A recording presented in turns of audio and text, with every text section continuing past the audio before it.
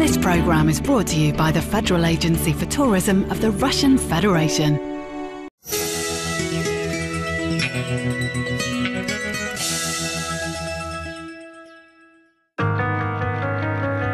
A visit to Russia is not just sightseeing, there's also the history of the people.